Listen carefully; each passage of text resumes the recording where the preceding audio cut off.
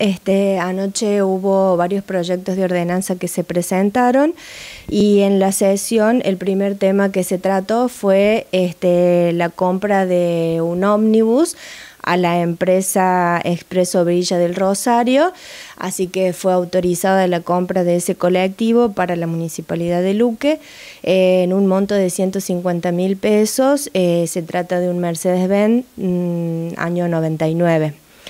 Eh, después también se firmó el proyecto de ordenanza y fue aprobado este, donde se le permite a la municipalidad llegar a un acuerdo con la cooperadora policial eh, donde la municipalidad se quedaría con este, la pica Mazda y se le entregaría a la cooperadora policial el Fiat Siena que posee la municipalidad y este, en diferencia del valor se le construirán eh, dos... Mm, dos salas, este, ahí, eh, o sea, se edificarán dos salas nuevas en la, en la nueva policía.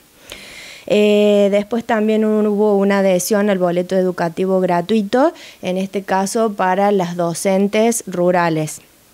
Em, también se leyó una nota proveniente de la Cooperativa de Servicios Públicos, eh, donde se solicita autorización a la municipalidad, al Consejo, eh, para la poda de árboles eh, pertenecientes a 67 cuadras de nuestra localidad, ya que, eh, bueno, eh, por una cuestión de seguridad es necesario podarlas porque son plantas que ya han superado el nivel y están este, obstruyendo o causando daños en los cables de mediana tensión.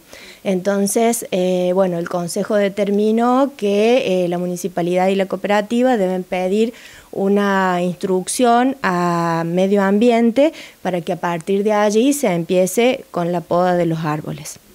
Siempre haciendo hincapié, por supuesto, que es una cuestión de seguridad, ¿no es cierto?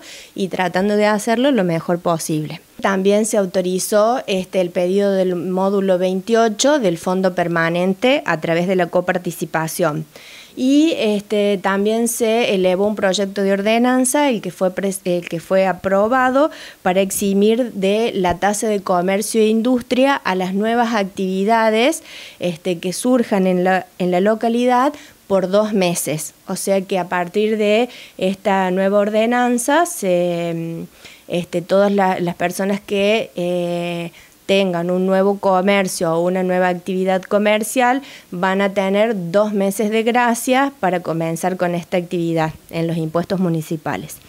Eh, dentro de los temas varios hubo dos, la presentación de dos temas. Una fue el proyecto de ordenanza eh, que también fue aprobado eh, para pavimentar este, unas cuadras de nuestra localidad. Concretamente, esas calles corresponden a la calle Luis Juárez entre San Juan y San Lorenzo y la calle pública entre Castro Barros y Cure Brochero. Y después, bueno, también como temas varios, se leyó una carta documento que el señor intendente municipal eh, hizo llegar al Consejo de parte del señor Iván García por el tema de un accidente de tránsito, un, no, un accidente de trabajo este, ocurrido en el año, en junio del año del 2015. Así que el Consejo anoche eh, también autorizó al Ejecutivo a negociar con este señor. Entonces, ¿sabe Gaby los, eh, los temas próximos para la nueva sesión? No, todavía no tenemos orden del día para el próximo lunes.